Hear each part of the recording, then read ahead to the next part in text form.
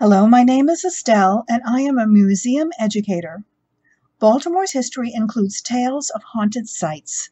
Some say Fort McHenry has an 1812 era soldier who patrols the outer battery. The USS Constellation once provided a ghostly guide for a visiting priest.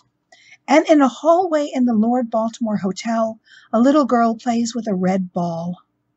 Like these famous Baltimore landmarks, is our museum haunted as well? Some visitors and museum workers believe that we might be. One evening, a guest reported the sound of female voices in the Decker Gallery, but no one else was seen. Video consoles in the lobby turn on and off without programming or human touch. Chains attached to display items rattle as they stand, hidden in the shadows of the gallery. Whispering is heard on quiet evenings when the museum is empty of guests and museum workers are here alone. Where did these voices and sounds originate?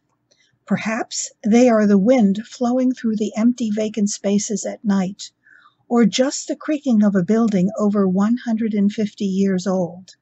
Or perhaps, just perhaps, they are the spirits of the Platt Cannery, reminding us not to forget those who labored here in order to build a new life while making Baltimore a prosperous and vital city.